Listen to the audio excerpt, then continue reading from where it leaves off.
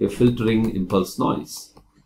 Now, as you can clearly see, right, impulse noise is not the same as an AWGN, okay, and it can also be sparse. What that means is in an image, right, it doesn't mean that all the pixels are affected. And so, for example, as you, as you traverse through this image, maybe something is affected here, something is affected here, something is affected here, but not everything, depending upon the situation. Ah. And and the, the, other thing is right, the impulse noise is such that right, whatever is this value value that you get here, right, that's going to completely change this intensity here. It has got it will have no relation whatsoever with respect to the right original intensity there, which then means that typically right, you know, if you think that right pixels ought to take values that are similar right within a neighborhood, now a pixel that is affected by impulse noise will will typically not at all follow whatever is around it because it's been completely changed, and therefore Right? The usual idea behind doing impulse and impulse filtering is to, is to employ what are called order statistics filters. Order statistics filters. Okay, these are not the same as the filters that we have that we have seen till now. Okay, what are called rank order statistics filters. Okay, in the sense that you rank the pixels according to their to their intensities and then and then right do some kind of operation. Okay, that is the idea, and typically these filters are non-linear. Okay, these are not the kind of linear filters and all right, which we have seen till now especially with respect to AWGN noise and all what we saw was all linear filter and so on, right? Whereas this is, uh, whereas, right, this is non-linear as far as impulse noise filtering is, is concerned. And, uh, and some, say, very simple filters have been there, have been around, and these are really, really quite, uh, quite, say, effective. And you know, and say unless otherwise, otherwise said, we will assume that uh, you know the impulse noise can range anywhere between zero and C255. Salt, pepper noise, when needed, right? I'll explain them. I, will I'll kind of talk about it in some examples. Only when we know for sure that an image is affected by salt, salt, pepper noise. Otherwise, we'll assume that the image has been affected by uniform noise carrying a value anywhere between 0 and 255. Okay. Now, uh, when you want to do filtering, okay, one of the most standard filters, right, that one can use is what is called a median filter. Right? You must have heard about it. What is called uh, what is called a median filter. Right? This goes by the by the by the idea of what we mean by really a median, uh, right? Uh, no, median value. Now imagine that imagine that right you are actually sitting here and this pixel is what you want to filter. You do not know whether it is affected by impulse noise or not. It could be. Okay, we are not actually going through uh, going through an approach which will first detect whether whether something is impulse affected or not and then applying. We're now going to go right. We are going with a very simple filter which is going to act on all the pixels. Okay. Now here, what will happen is uh, so for example, right, what it will mean is that even if a filter is not affected by noise, let's say, but then you still you still do some kind of impulse filtering, uh, use some kind of median filtering, you won't do too much harm because of the fact that these pixels around it, right, are likely to have similar values, and therefore you don't you don't expect right too much of a harm to occur. Now the median filter, right? Uh, think of uh, think of let's say, right? Suppose you want to you want to think of a three cross three median filter. What it actually means is that you want to filter this pixel of its impulse noise and therefore, what you will do is you will take this C 3 cross 3, 3 neighborhood, and then and then whatever whatever are those intensities, you're going to write all of them up. Then you are kind of either going to put them in an ascending order, or you will put them in kind of uh, in uh, right in a kind of a descending order, right? And uh, and then right, what it will mean is, and then once you have it, then whatever is the median value, right? After you do this, right, if you pick the median value, Okay, whatever is the median value after you do the rank ordering, you pick the median value and that will be the intensity that you will assign in the output array. Right? You'll have an output array where for this intensity, you will actually copy this median value. So the idea behind the median filter, okay, which we employ for filtering impulse noise is as follows. Okay, imagine that uh, that you have a bunch of intensities at some location okay like this. And uh, suppose okay suppose the central central this one pixel is the one that is affected by impulse noise. Assume that it has a value let's say 200 and the neighboring scene points okay I mean do not match up with this because those are the scene intensities let us say that those are much lower something somewhere around 90 100 maybe 95 maybe 110 120 105 98, 104, right? Something like that. Now the, now the fact is, right, if, if this was not also affected by intensity, uh, by, by impulse noise, right, then of course, okay, then, then you would have uh, kind of expected this intensity to be somewhat similar to its, to its uh, neighboring values. But then because of the fact that this has been affected by impulse noise, right, it has become very high. It could also have been, on the other hand, very low, right? It depends upon how the impulse noise affected it. Now, the the idea behind uh, the the behind you know, taking the median value is to make sure, right, that you kind of knock this outlier out, right? You should be able to remove this outlier and somehow replace it with, let's say, one of the neighboring values, because the neighboring intensities we would kind of say, believe that, right, those kind of belong to the to the scene intensity, and therefore, right, if you were to replace with one of those neighboring values, then you would have you would have, you would have kind of arrived at the right value for for this uh, for this pixel location, right value for the intensity at this pixel location. So when you uh, right before you compute the median, you of course you know put the pixels, uh, put these intensities in uh, right in an order. Okay, it doesn't matter whether you whether you, you know put it in uh, uh, this one descending order or in an ascending order. Suppose we just put these pixels in an ascending order, then we'll have something like 90, 95, 98. Then I think we have 100, then 105. Oh, sorry, 104 is there. Okay, there is 104 here. Then 105 uh, then I think it's 110 and 120 and 200, right? Now, uh, now if you see, right, an outlier, okay, which, which would not fit the surrounding intensity goes off to the extreme. And therefore, when you actually pick up the pick the median value, right, you would end up picking the median value is 104. And therefore, this pixel intensity will eventually get replaced by 104 after you do the median filtering. Okay, now if you had done it a descending manner, then this 200 would have come on the left extreme Okay, again, when you actually pick the median value, you would have knocked it out. Okay, so the whole idea behind employing a median filter for impulse noise, right, is to simply make sure that the outlier, right, will not will not be chosen after filtering. Okay, assuming that the that the surrounding intensities that have not been affected affected and the surrounding intensities are the ones that actually represent the scene intensity. Okay, that is the idea behind a median filter. Let's just take one example in order to you know, illustrate this better. Now let us say that we have x of m comma n to be this array which is 10, 12, 15, 1, 7, 8, 14, 20, 22, right? So we so we would like to so so the idea is that we have we have uh, we have a pixel here, right, which we want to replace. Its three cross three neighbors are these. So now what what should we do? So now we first kind of you know, you know so if we, if we write down, we first write down this array, but then let us write down in some order, either in an ascending order or in a kind of right descending order. Let's say that uh, we know you know we put these intensity values in an ascending order.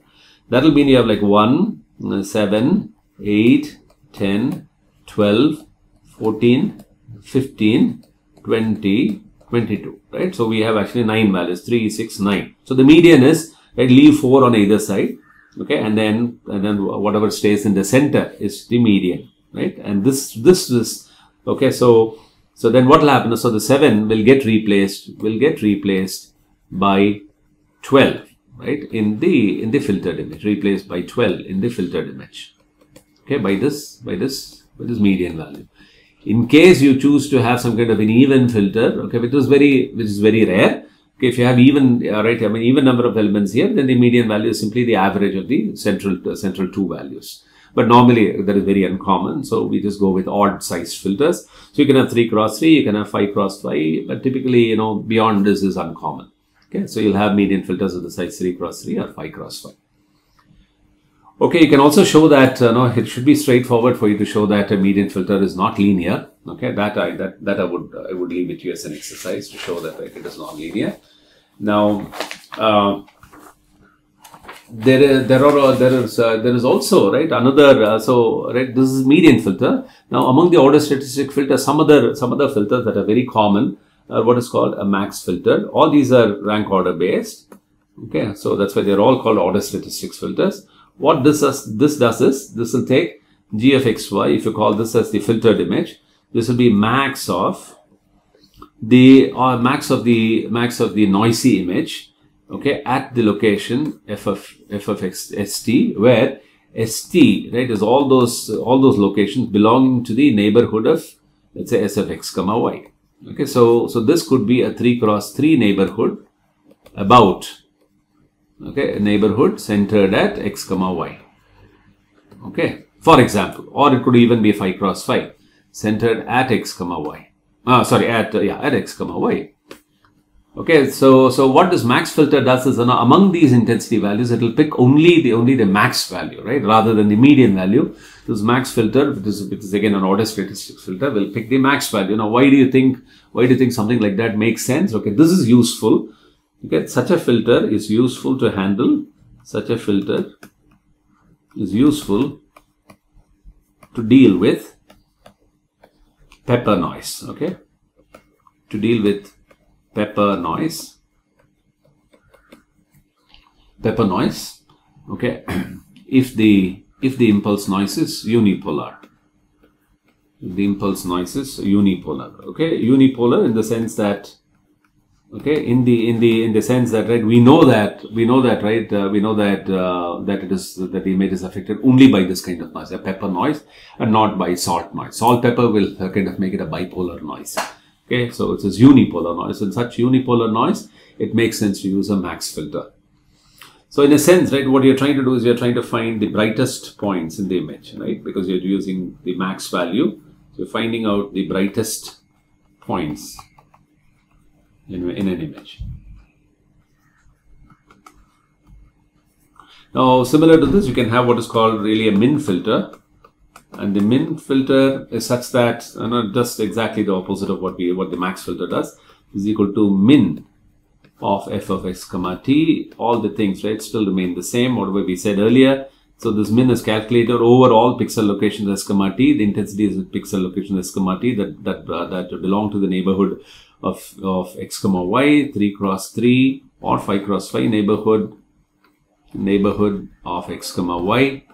And uh, and uh, right, what this ends up doing is it finds the darkest points in the image, finds the darkest points in the image. And as you can see, darkest points in the image.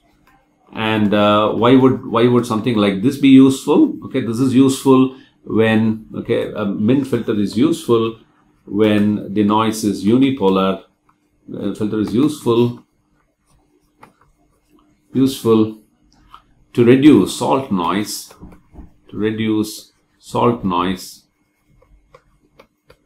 Okay? Salt noise when if the impulse noise is unipolar again. If the impulse noise if the impulse if the impulse noise is unipolar. Okay? Obviously so salt noise example saturated pixels and so on. Okay, saturated pixels.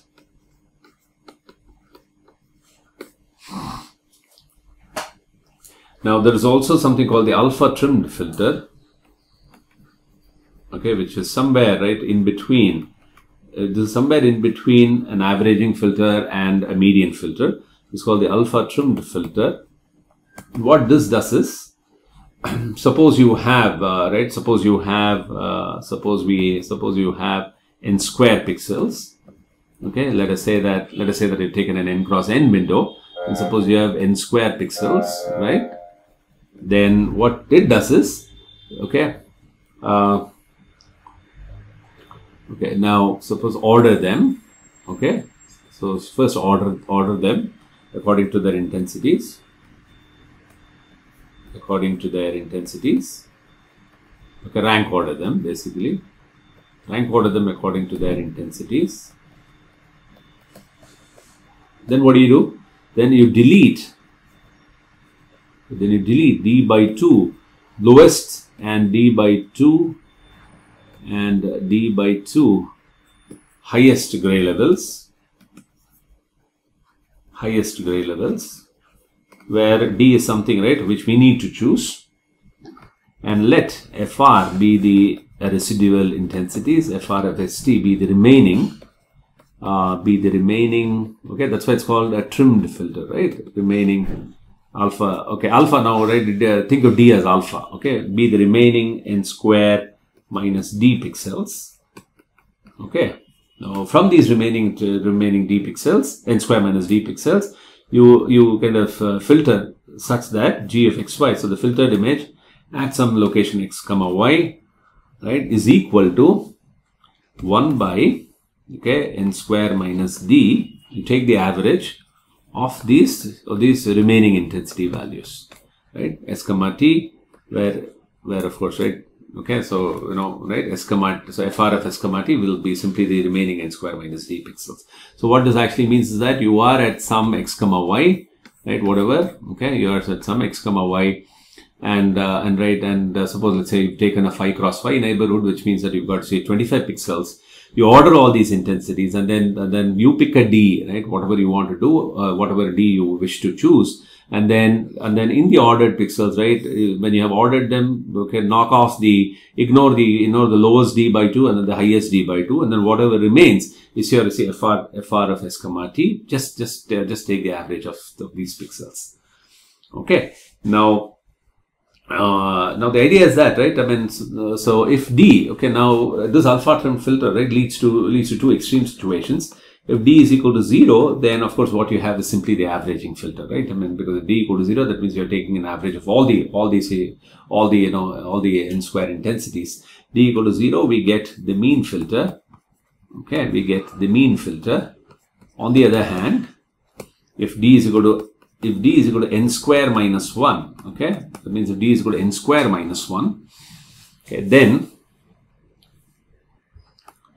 then the output is simply the, the median value. So, which means that what you end up with is simply the median filter. Okay. Therefore, therefore right uh, so for therefore when uh, other than these two extreme situations when you pick a pick uh, you know a different d then then such a filter is is useful when you have a combination of is useful for a combination of for images that have combined combined uh, Gaussian or combined Gaussian and impulse noise, right? Because we know that uh, spatial averaging is good if you have a Gaussian noise. We know that median filter is good, uh, median for impulse noise, and therefore such an alpha trim filter is good for a com combination of Gaussian and impulse noise. Okay. Now, the, the other thing, right, that let's say, you know, one might want to ask is when we did averaging filters for AWGN, we had a notion of spatially weighting them, right? Like, for example, a weighted averaging, a Gaussian, for example. We said that, right, a Gaussian could, could assign more weight to the central pixel and less weight as you go outside and so on. So one might want to ask, is there, is there a similar thing like, that one could do with mean, that one could do with median filters also? Can we talk about a weighted median filter? The answer is yes. Right? So the other kinds of filters that are that are also around, okay, among them are a few, okay, which I'm going to explain. What is called a weighted median filter, okay, or a WM. Okay, so it is called this is a weighted median. Okay, how does uh, how does how does a weighted median filter work? It works as follows. Suppose, okay, suppose you have x equal to, okay, let's let's say x1 comma x2 all the way up to xn. Okay, so which basically means that right, you've taken uh, Uh, okay, you've taken a window right about about some pixel that you would like to filter, and these values are like x1, x2, x3, and and so on. Okay, xn. Now choose w to be equal to w1, w2, all the way up to wn, where where this w consists of all each wi is simply a positive integer. Okay, it is a positive integer. So that means it can take values 1, 2, 3, and so on. Okay. Now, now let us let us uh, let us uh, let us compute the output as y of n. Okay, at that location n, let's say y of n.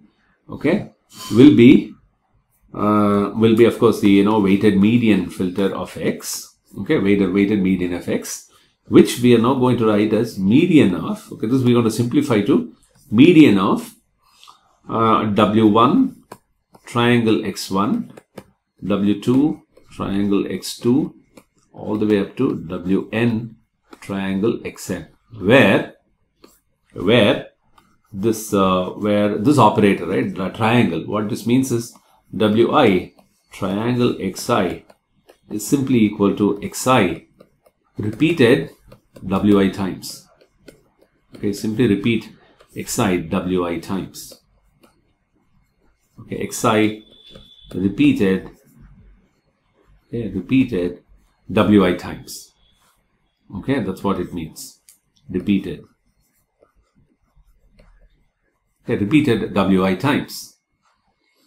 Okay, so now you can see, right? So you're trying to weight it in a sort of in a sort of a different manner when it comes to a weighted median filter. And you're repeating that intensity value, right, depending upon what you give us, give us WI for that particular intensity value. So let us take an example to understand this. Let's say that x equal to 12, comma 6, comma 4, comma 1, comma 9. Okay, if I had done median of x, what would that be? That will be, let's say median of we could just put this in an ascending order 1 4 6 9 12 and therefore the median value will be this so which is equal to 6 right so the so the so the median filtered value of this of x would be 6 but suppose you want to do a weighted median in which case I have to tell what is this W matrix now corresponding to each intensity I'm going to give this as 1 2 3 2 1 okay so what this means is that 12 is going to repeat one time 6 is going to repeat twice 4 is going to repeat thrice, 1 is going to repeat twice, 9 is going to repeat once. Okay, therefore, now y of n, okay, if you say it's equal to weighted median of x, right, that will be equal to median of, okay, now we'll have to, we'll have to repeat 12 once, 6 twice, 4 3 times, 4, 4, 4, 1 2 times, so 1 comma 1, and 9 1 time. Okay, this will be median of now now let us just sort these numbers. Okay, let's say in an ascending order 1 comma 1, 4 comma 4 comma 4, 6 comma 6, 9 comma 12. And now if you look at the median value, there are 2, 4, 6, 8, 9. Therefore, leave off 4 here, leave off 4 here, and then the median is 4. Okay, so the value is now 4. Okay, and as you can see, right, instead of if you had taken a simple median, you would have ended up with a value 6. Okay, but then because of the fact that you took a weighted median, and if you look at it, this weighted median actually put more emphasis for the intensity 4, right? And therefore, the output you also see that the median uh, value has turned out to be 4, the weighted median value. Okay, so in that sense, you can also have a, have a weighted median filter okay which can which can actually do things similar to the way that we would expect a weighted averaging filter filter to do, right? In the sense that you can you can start emphasizing certain intensities more depending upon what you want to want to right how you how you actually how you actually construct the weight vector. Now along the same line, there's also something something called centrally weighted or central weighted mean filter or center weighted. Okay, let's write it as center weighted weighted median filter. What is called CWM center weighted weighted median filter what is also called CWM okay? This gives more weight gives more weight to the central pixel. More weight to to the to the central pixel right? This is somewhat similar to to uh, to the fact that right that, you would want to give the pixel under consideration more weight okay while you're doing the filtering process. So like saying that y is equal to median of so so right this will turn out to be so you'll have, you may have x1, x2 all the way up to let's say xl minus 1 and then, or let's say c minus 1, right? If you want to call the central pixel as c, okay, then c minus 1, where c is an integer, and then you have xc repeated some wc times. Okay, uh, well, we are writing it as wcxc, right? How would we, how were we writing it? Yeah, okay, wcxc. Okay, so so let us follow the same kind of notation that we've been doing before. So wcxc, right?